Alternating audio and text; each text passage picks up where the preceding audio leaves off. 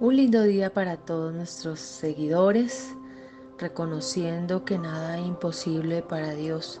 Comienza una nueva semana y vamos a consagrar esta semana que comienza para el Señor, dedicándole a Él toda la gloria y toda la honra, porque Él puede hacerlo de nuevo. Dios puede hacer que las circunstancias y los eventos trabajen a nuestro favor. Metas en oración con Él, pídale a Él Hable con Él y va a ver la gloria del Señor moverse en su vida. Él puede mover a personas para que nos favorezcan. Él puede llevarnos de donde estamos a donde deseamos estar bajo su voluntad. Son pequeños milagros que Él puede hacer porque hay milagros grandes, pequeños, medianos, tal vez grandes para unos, pequeños para otros, pero todos son milagros que esperamos del Dios Todopoderoso. Él quiere obrar de la mejor manera.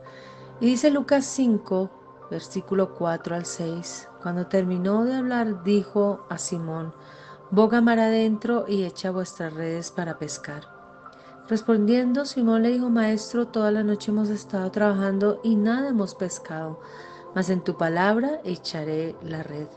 Y habiéndolo hecho, encerraron gran cantidad de peces y su red se rompía. El Señor dio una orden, que bogara más adentro, que lanzara la red más al fondo. Tal vez estás lanzando muy afuera tu red y Dios quiere que la lances más allá.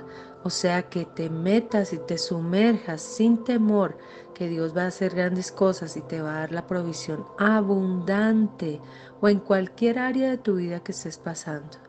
Y el Señor va a mostrar la gloria sobre tu vida. No tengas temor de lanzar la red más allá. No se va a perder, va a salir llena de provisión.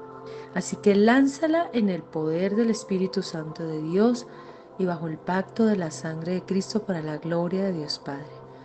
Yo te invito para que oremos. Señor, te damos gracias en este día. Gracias poderoso y soberano porque tú eres Dios de milagros. Dios que todo lo puedes. Señor, te damos gracias porque tú alientas a los corazones apocados en este día para que puedan lanzar su red más allá sin temor, porque has prometido abundancia de peces, de pan, de trigo, de vino, de aceite, de sanidad, de restauración.